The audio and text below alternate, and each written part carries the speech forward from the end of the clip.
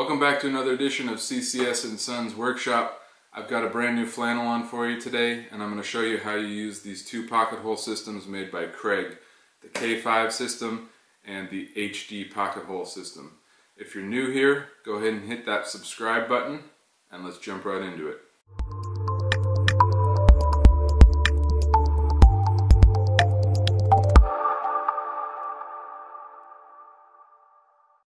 Okay, so we're going to start this discussion focusing on the K5 jig and then we'll do the HD pocket hole jig afterwards.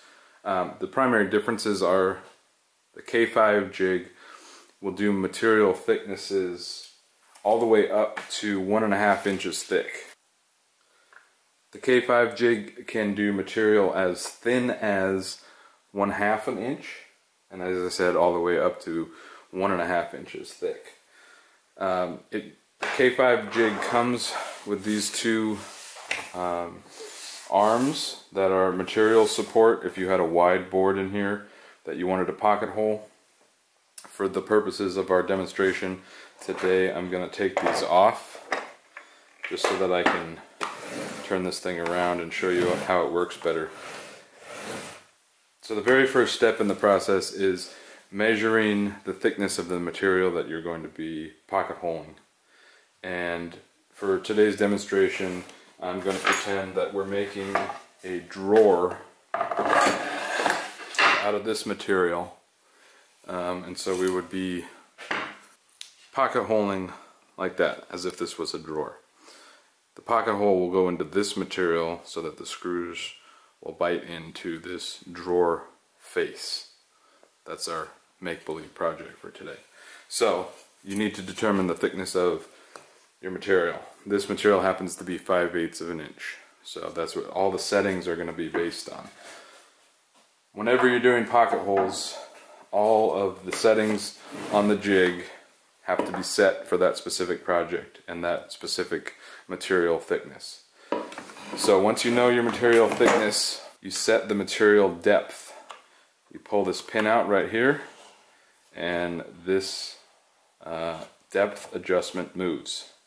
So you find your increment of your material thickness, and you set it accordingly. So we're doing 5 eighths of an inch, so we set it there. After you have the depth setting set, for your material thickness.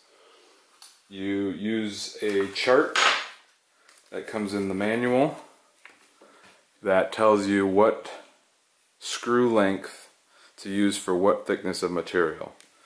So you follow down on the chart, here's 5 eighths material thickness. We're going to use a 1 inch screw and we set the jig at the 5 8 setting as I showed you on the first step. So there's lots of different size screws and coarseness of screws that you can buy for this. This is just a starter kit um, that you can get at pretty much any hardware store or online. I'm going to include a link in the description where you can get all of these different jigs and the screw kits from Amazon if you're interested. Um, but so in the starter kit, it comes with one and a half inch screws, two and a half inch, one and a quarter, one and a quarter in uh, different coarseness, two and a half, and one inch. And there are coarse and there are fine thread screws uh, available for the Kreg jig. In general, you want to use the fine thread screws for the hardwoods and the coarse thread screws for your softwoods. So this is a softwood. We're going to be using a one inch screw and it's a coarse thread because it's a soft wood. So again, you use your chart and you find the screw that corresponds with your length and your material thickness and you set it aside. Again, you'll want to keep this chart that comes in the manual um, but because uh, that tells you what screw length and what setting to use for your uh, specific material thickness. So we've got our screw, we've got our depth set accordingly to the material thickness, uh, and the next step is to adjust the stop collar on the bit that comes with the jig. And the way you do that is by taking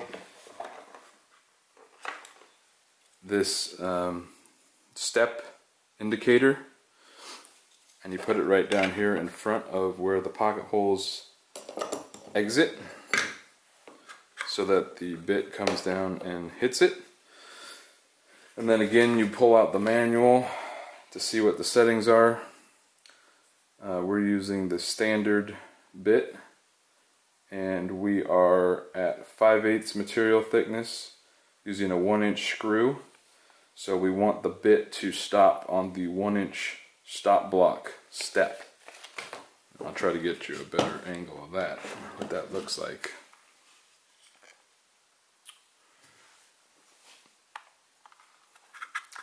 So you can see on here that there are multiple different screw length settings and depths on the steps.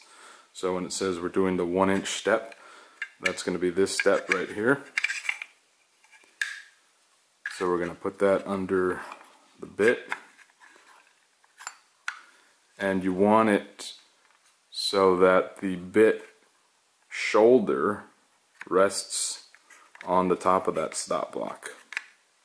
Once you have that, for your specific settings, then you tighten the collar on the bit. So I'll tighten that now. Uh, also, it's worth noting that these extension shelves that fit on here, they're little cubbies for all your specific tools, your Allen wrenches, uh, your drivers, pieces like that. Instructions you could put in there, comes in very handy. Okay, so once we have the depth set on the um, drill bit, then we tighten the stop collar.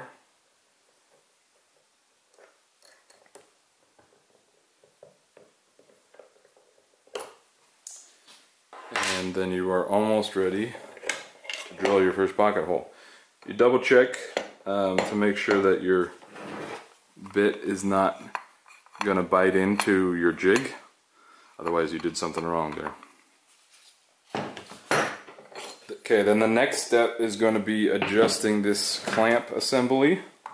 Uh, and the way this works is you pull this lever down and it pulls the clamp and your workpiece tight against the jig.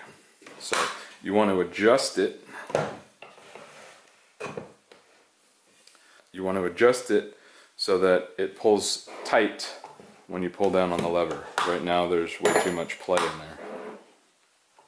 So while the lever's up, you push down here and you slide this forward to get pretty close and then you use this lever for the rest of the pressure.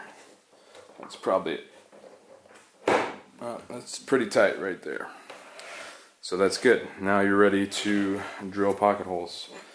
Um, you'll notice that there's three different holes in here for your bits or for your drill bit and that's um, used in, depending on what kind of the width of your material so if you were using a relatively thinner stock and you wanted to have two pocket holes you could use these two next to each other um, but for in this instance I've got a wider piece of material so I'm going to use these two outer holes so we've got everything set we've got our depth set We've got our drill bit with the stop collar set and we've got the material clamped in place.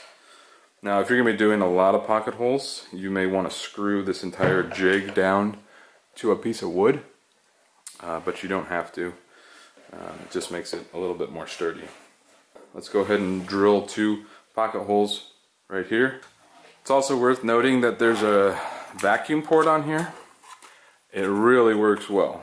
Um, for the purposes of this demonstration, I'm going to take it off just so you can see better how this works, how the bit goes down through there and the shavings will exit those holes. But this really is a lifesaver. Um, if you're doing a lot of pocket holes, definitely put this on and just hook it up to your shop vac.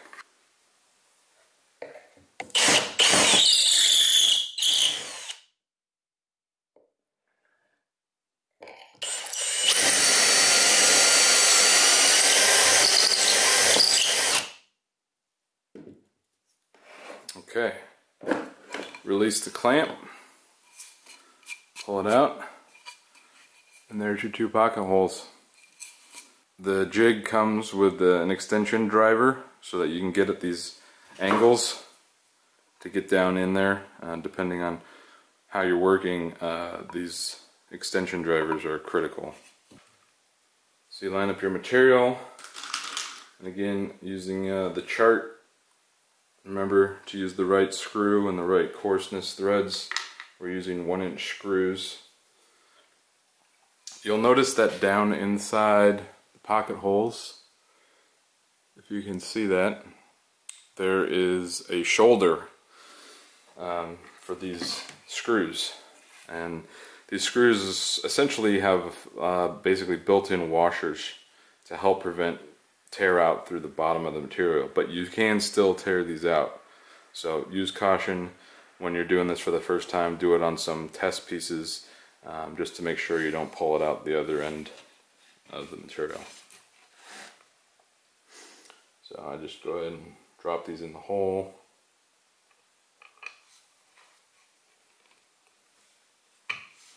I'm just lining this up flush with my finger on the back for now.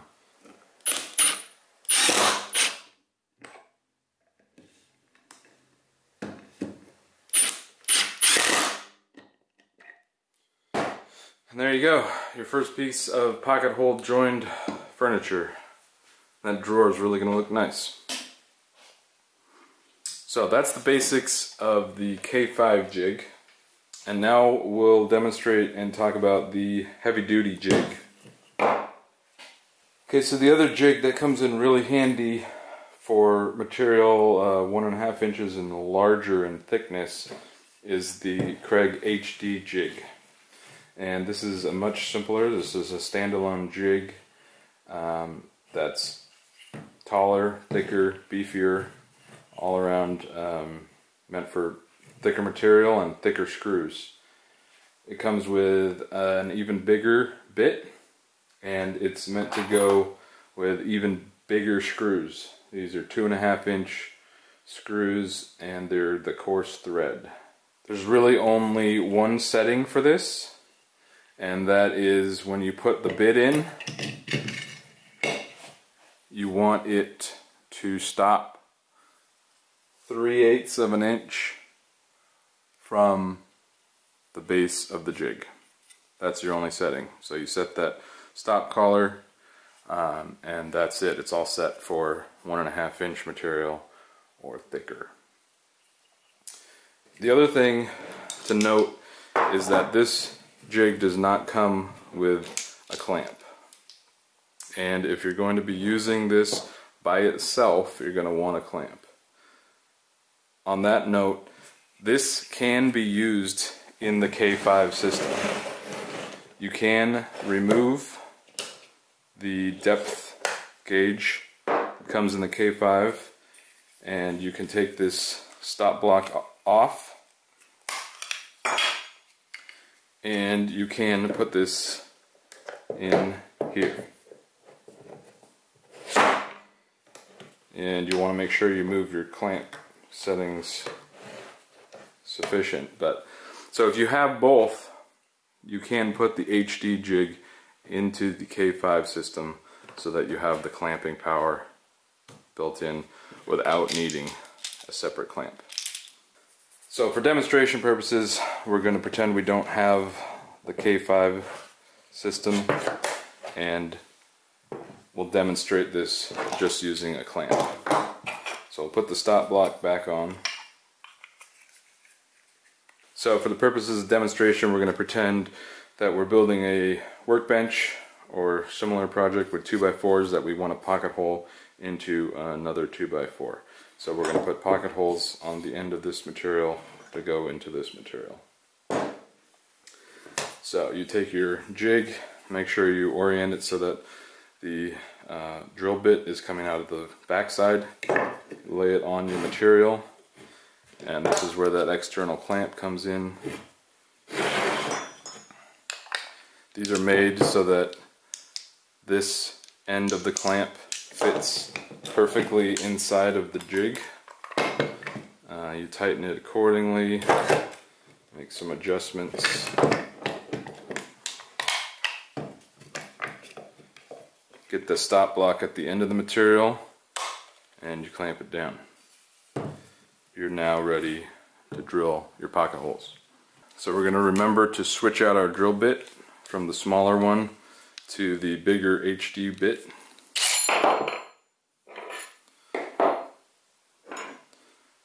Get this bad boy on here. And you're ready to drill your pocket holes.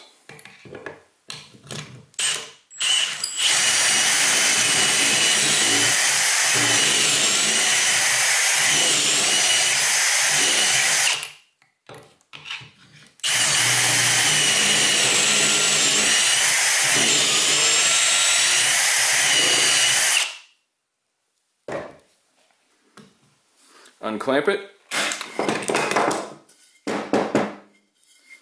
And there's your pocket holes, extra large style. So let's go ahead and connect it to the material.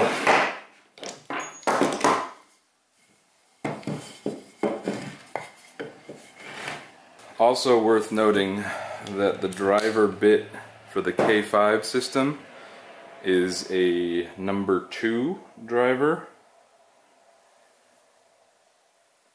number two driver. And the HD pocket hole kit comes with an even larger driver, a number three driver, which fits the HD two and a half inch extra large heavy duty screws. So make sure you switch out that driver, otherwise you're going to have a hard time.